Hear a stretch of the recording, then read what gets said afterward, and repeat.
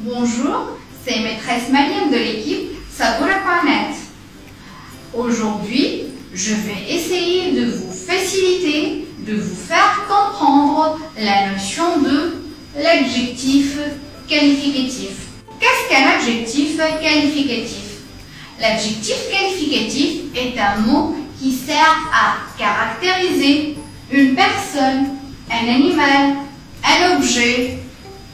Exemple, le petit chat, l'armoire blanche, une belle écriture. On prend l'exemple du le petit chat. Lorsqu'on ajoute le mot petit, on peut désigner facilement de quel chat on est en train de parler. Un autre exemple, le petit chat noir, le grand chat marron. Ça nous donne plus d'informations, plus de renseignements sur le nom. L'adjectif peut être placé devant ou après le nom. Devant le nom, une petite fille. Ici, l'adjectif petite est placé devant le nom fille. Des cheveux blonds.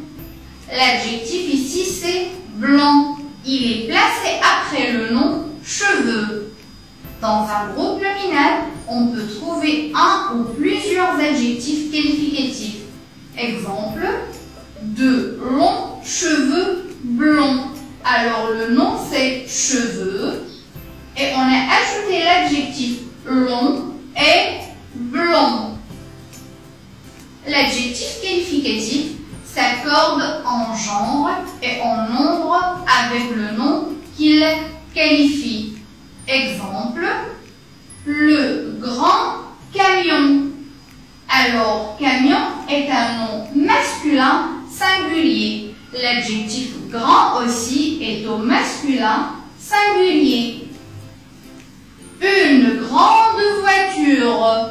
Voiture est un nom singulier. L'adjectif aussi s'accorde avec le nom voiture. Grande, il est au féminin singulier. Les grands camions. Camion est un nom masculin pluriel. On trouve que l'adjectif prend un S du pluriel. Grand à la fin S. Grand aussi est au masculin pluriel. Les grandes voitures.